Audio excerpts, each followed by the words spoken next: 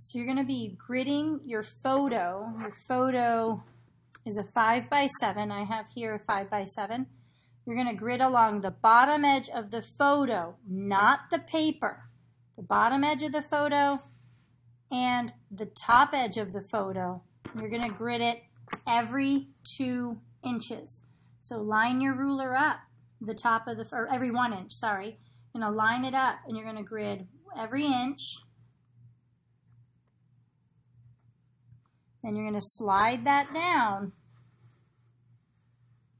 And you're going to, again, grid every inch. I like to grid on the paper and not on the photo so I can see it real well.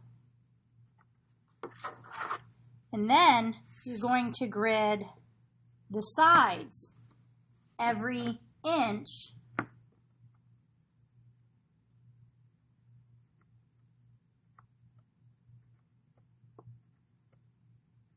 along the outer edge of the draw of the photo. And then again, every inch.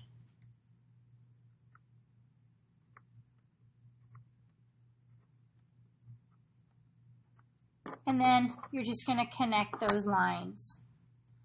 And remember that every two marks makes a straight line. Make sure your pencil is pretty sharp so you don't have big, fat, ugly lines that obliterate part of your image every time you draw.